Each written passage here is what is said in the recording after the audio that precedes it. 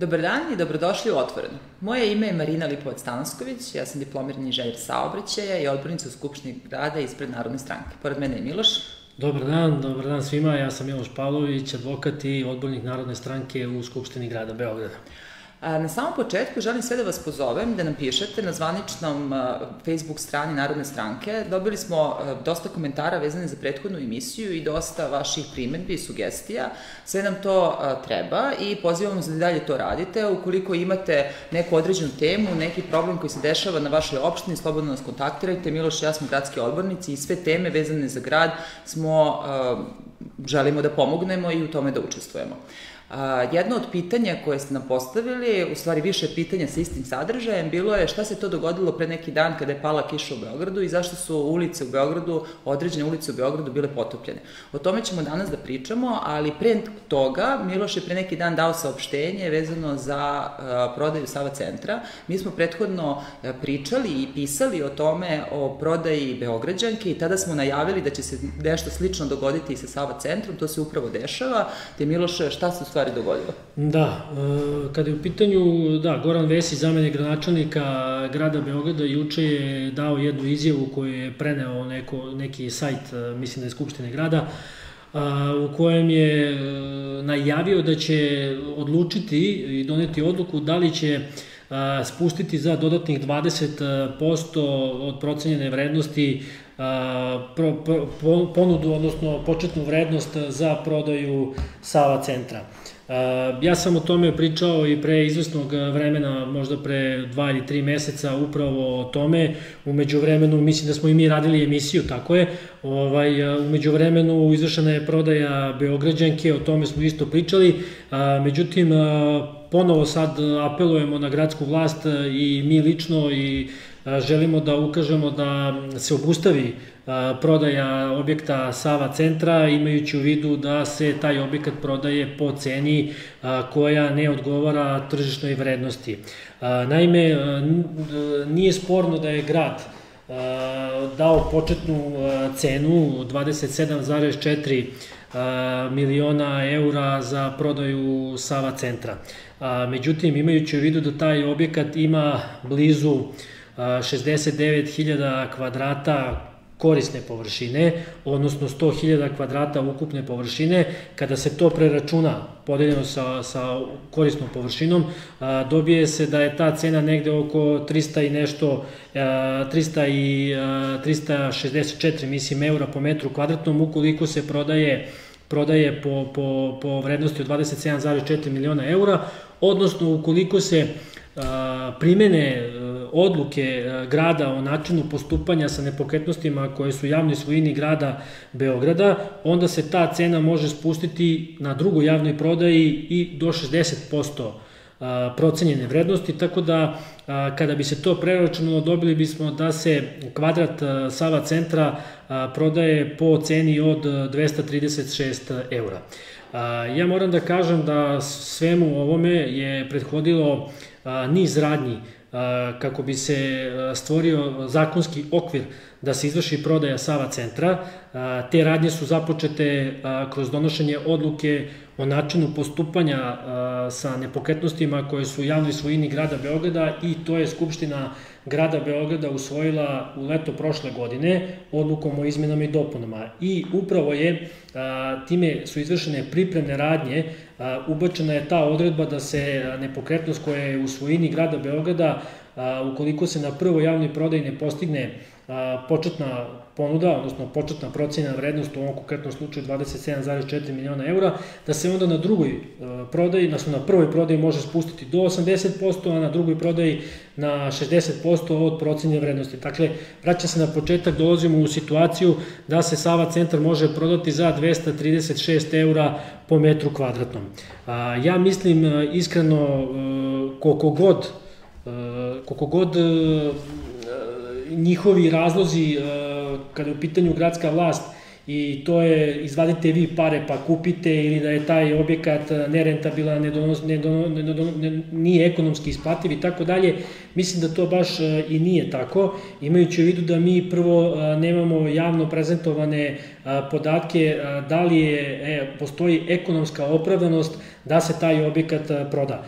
Mi imamo nagoveštaje od strane gradske vlasti da se da taj objekat samo košta, da taj objekat ne doprinosi ne doprinosi ekonomski budžetu grada Beograda, međutim ja se ne bi složio sa time imajući u vidu da tako funkcioniše već decenijama, a upravo me ova promena odluke o izmenama i dopunama odluke o načinu postupanja koja je usvojena prošle godine navodi da su oni upravo zbog Beograđanki Sava centra pripremili teren, stvorili zakonski okvir da se prodaja izvrši na takav način da dođemo do cene od 236 eura po metru kvadratnom.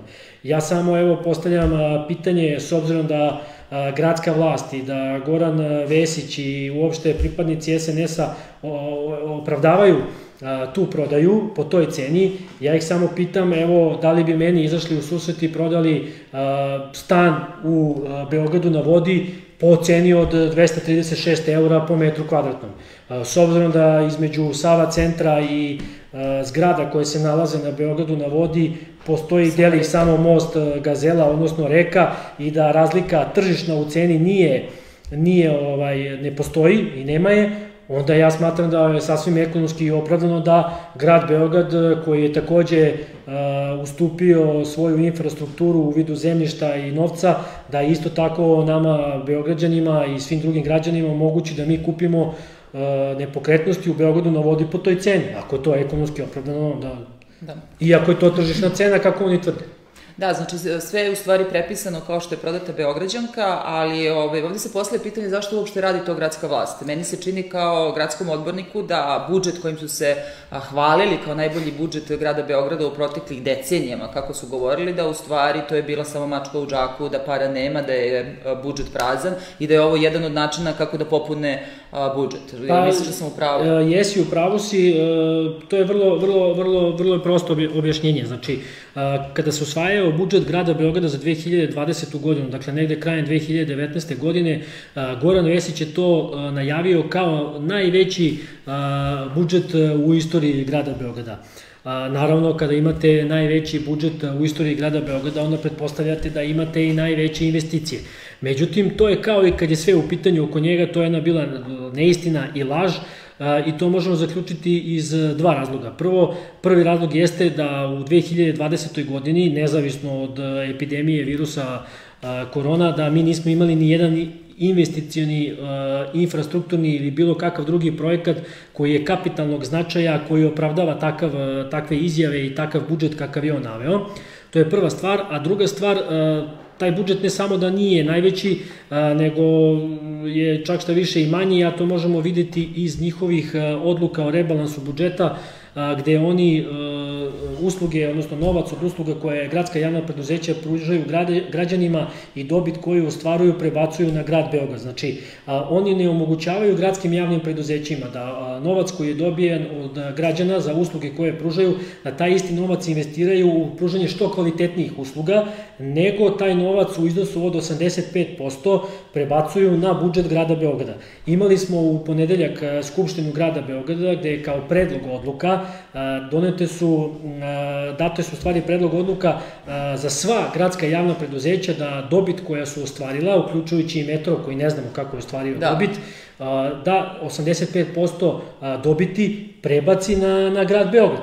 Dakle, ako je zaista to tako investicioni i najveći u istoriji budžet grada Beograda, zašto su na te pare prebacivane na grad?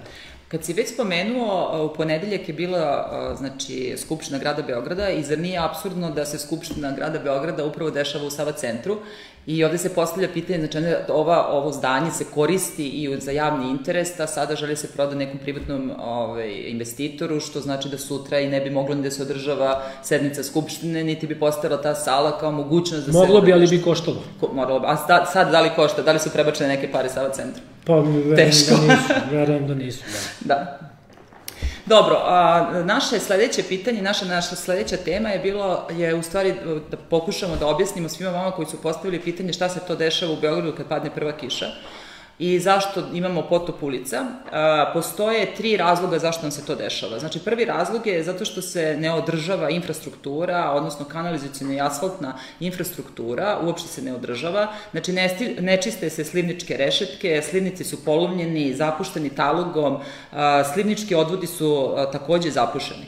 Atmosferski kanali su često najbliže deponije gde građani Beograda se ponašaju vrlo, kako bih rekla, ne ljudski, te izbacuju samo đubre, to se može naći i nameštaje i šut upravo u ove kanale a, gradska vlast ih ne čisti redovno i to je jedan od prvih razloga zašto imamo a, poplave, odnosno potope ulica. Drugi razlog je taj što kada se rade rekonstrukcije ulica, kao recimo sad četiri bulevara kako su najavljene u svim medijima, to, da, da budemo iskreni, to nisu bulevari, to su ulice, ali ulice 27. marta Cara Dušana Kraljice Marije, znači rehabilitacija ovih ulica je podrazumevala i da se promeni kompletna instalacija kanalizacijna atmosferska, međutim informacije koje mi imamo jesu da dosta toga, čak 50% nije promenjeno iz razloga što javno komunalno preduzeće u ovom trenutku nisu imali pare da, koje bi uložile u novu infrastrukturu.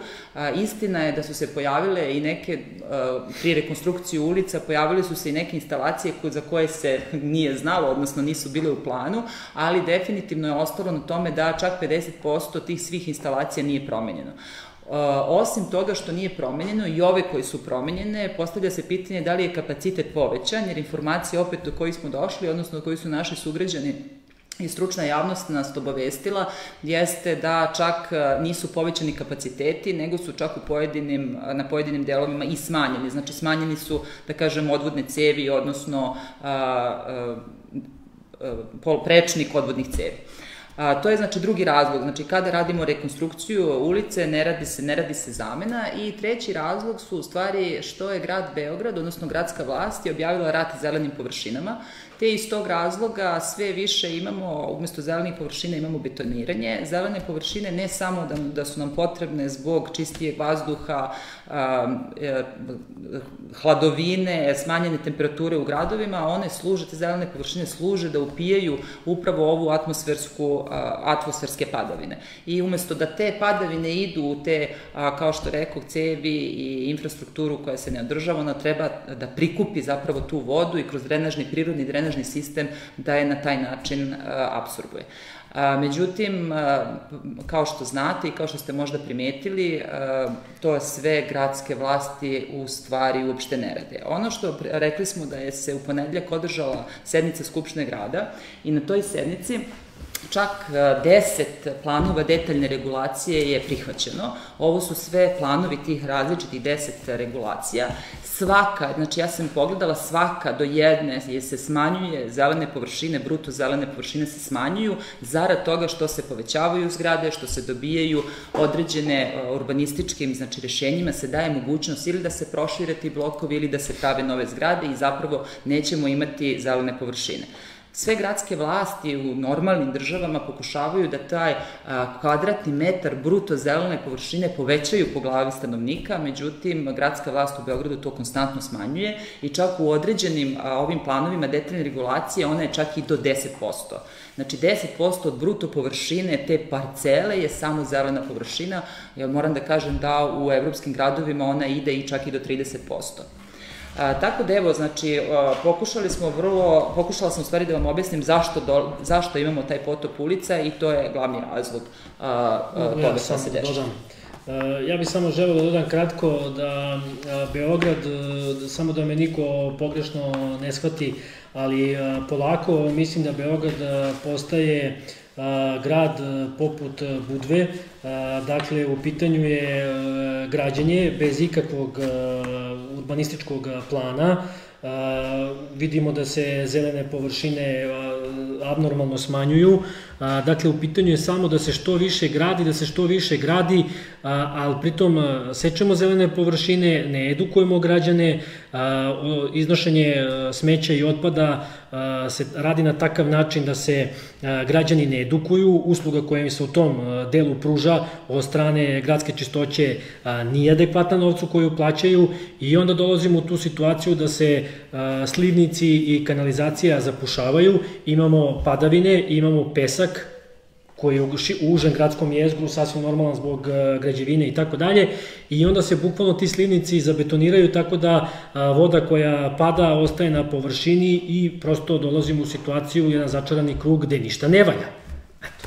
Još samo jednu stvar bi dodala na kraju, a to je da, pored toga, znači što je gradska vlast objavila rad zelenim površinama, vrlo često se sve više dešava da građani u stvari se samo inicijativno i prave građanske grupe kako bi odbranili nešto. Ovo je jedna od njih i pitam se zapravo da li je zaista potrebno da 700 građana potpisuje neku peticiju. Ovde konkretno peticija se odnosila na sedam amandmana koji su išli u Skupštinu u ponedeljak, a koji su bili za to da građani ne žele da se grade u bloku, ne žele da se seče drveće, ne žele tu spratnost koja je data, žele manje spratove, žele da vide nebo, žele da vide sunce.